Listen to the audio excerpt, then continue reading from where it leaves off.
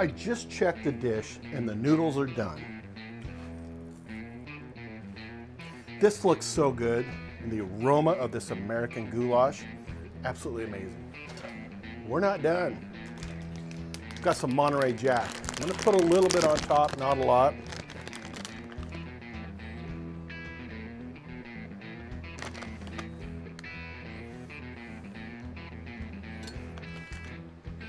Mix that up in there.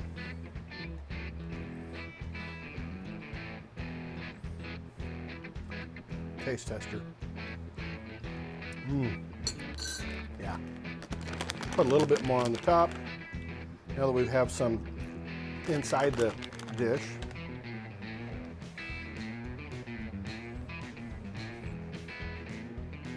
See what I mean? That is freaking awesome.